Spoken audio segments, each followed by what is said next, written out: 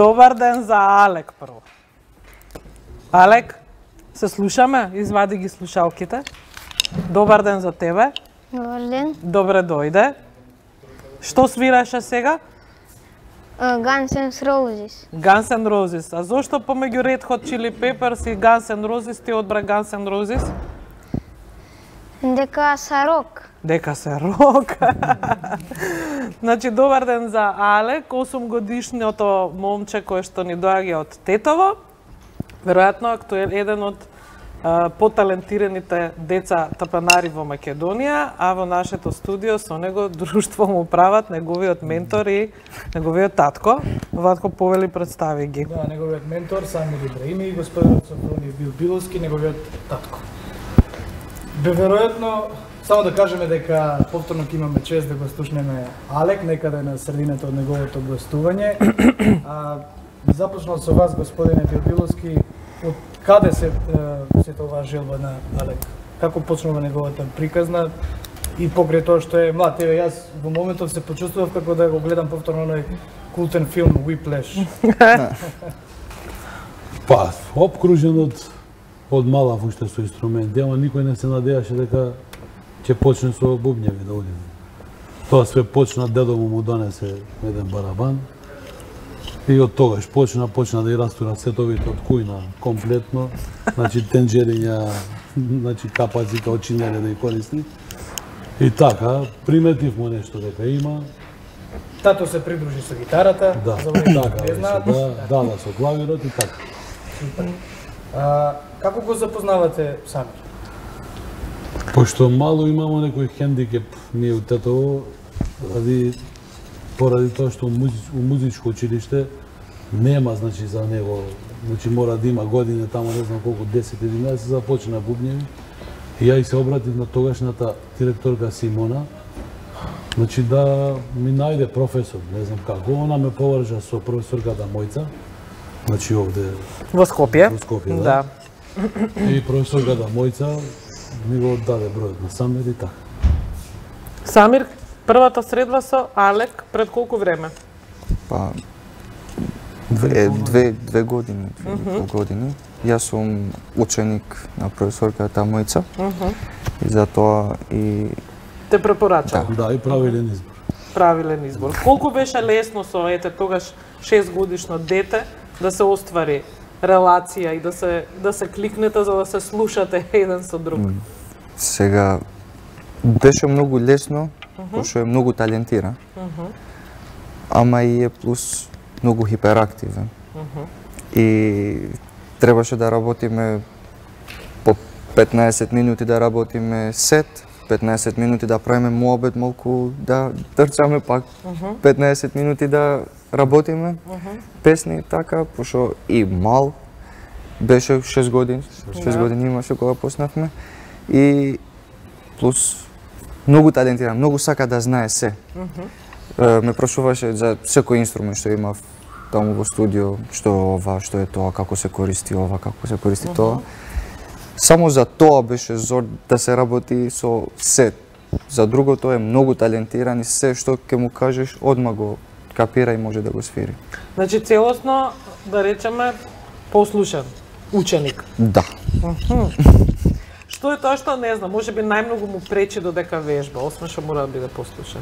Има нешто што му пречи посебно? Сака да знае и тие што не треба да ги знае во моментот, mm -hmm. сака да ги знае. Mm -hmm. Тоа му пречи на Е, сега бидејќи гледаме во однос на тоа какви песни бира да да, да свири, да. дека дете збор за рок песни, да. нели подготвен овде со Red Hot Chili Peppers, подготвен со Guns N' Roses. А, тоа беа буквално првите музики што му влага во да, во уво. Да, да уште кога почнал со сетовите негови со тенџерињата, uh -huh. уште тогаш ги пушташе концертите на Red Hot Chili Peppers, на Nirvana, на Guns N' Roses uh -huh. и буквално свиреше по нив. И Како се справувате вие со буката што е предизвикува овој инструмент по дома? Кога се ја имав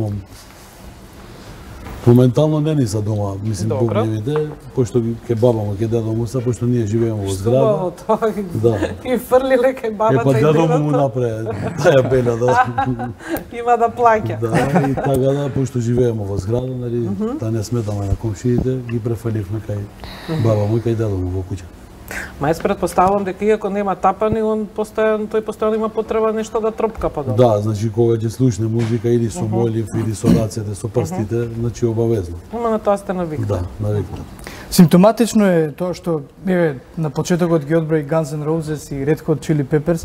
А, дали вие сте тој кој што е условно кажано го труевте со рокот? Да. Да? И ја и сопруга. И, и сестра.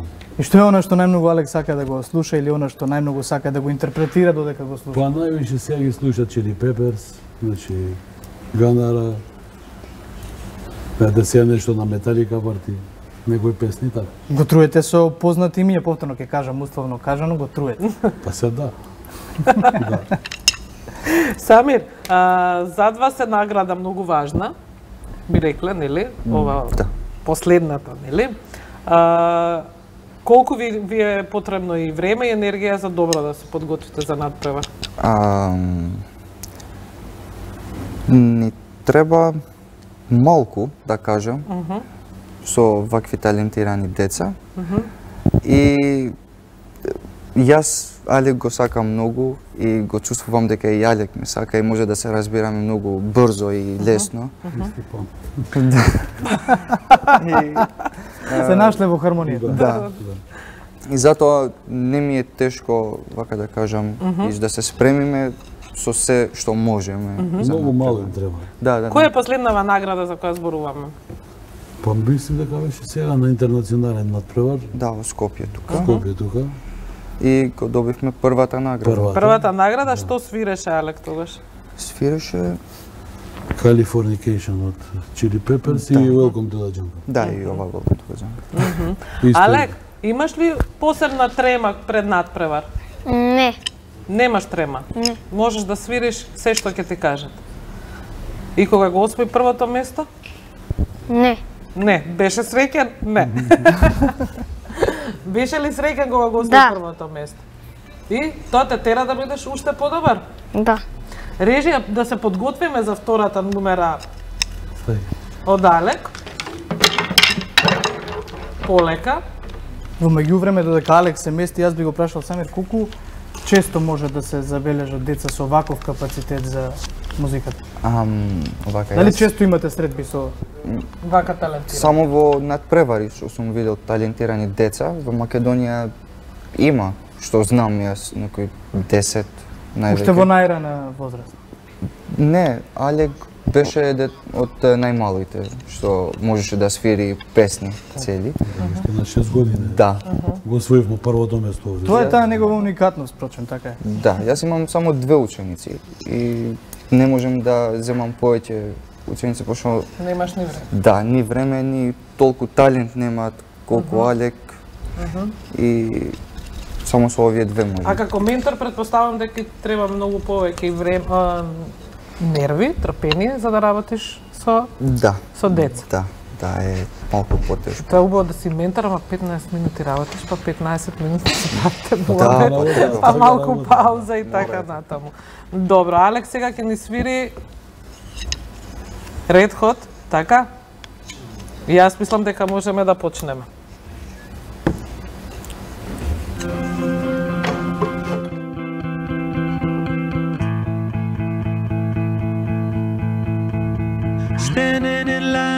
See the show tonight, and there's a light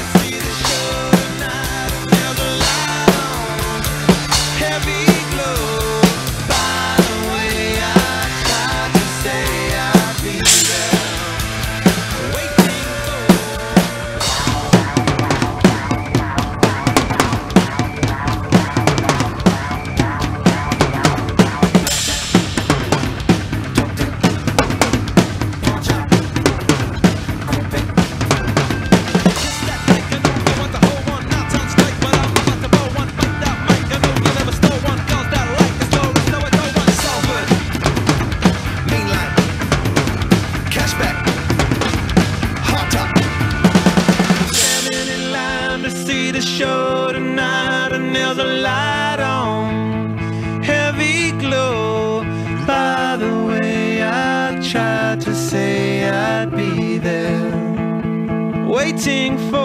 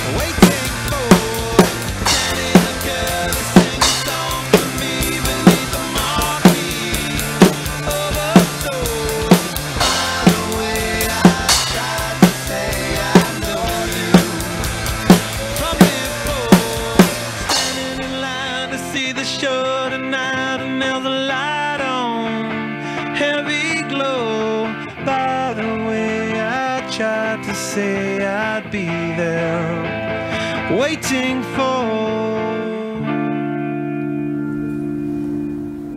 Е па Арлек, браво, ама јас ќе го прашам Самир каков беше. Супер. Одличен. Одличен, да. Како и секогаш. Можеш да ги извадиш слушалките за да ме слушаш. Дали си задоволен од своите изведби? Да, Да? И повеќе или доволно? повеќе. И повеќе од задоволен. Е, сега јас не една тајна сакам овде да откријам ако се сложуваш со мене, може? Колку ќе ги чини твоите родители твоето гостување денеска овде? Што сакаш да добиеш за возпад? Монитор, Каков монитор? геймерски. Геймерски природно. Жал ми е овој пат до Скопје што ќе ме чини повеќе од вообичаено, но Чини то не ме чини стално. Во ред Самир, некое следно надпреварување? Се подготвувате? Ам, Бака за крај? Вака ние нон-стоп се подготвуваме не за надпревари, пошто Во кондиција да, сте, во да. кондиција да сме и ако има некој надпревар, ние ќе бидеме спремни. Таму први што се вели интересен податок за време на паузата, дека свиреше и второто најталентирано дете што е дете, нели? Една година помало од, од Да. Алек и исто така од тетово. Да. А мене ме воодушевија овие татовче. После Васко колегава, овие се следни што ме воодушевуваат. Васко колегата може би тој има скриен талент, да не никогаш може не би пробал да биде тапанар тапанар, некој да. скриен, да. Цоци, јас ви благодарам, се договаравме долго за ова ваше доаѓање. Алек е, е хиперактивен, ама овде беше на вистина Мирен. едно смирено вака дете кое само тапаните ги гледа и Мало ништо друго. Да. Не, се обврзуваме повторно да биде гостин во студио. Со сразмерно со неговите успеси или секако. Може. Ви благодариме уште еднаш. Алек, ти благодариме и тебе. Фала. Ако ништо друго, допринесовме тој монитор да биде твој. а ние, почитувани, одиме со кратка пауза, па со следните наши гости за денес. Останете со нас.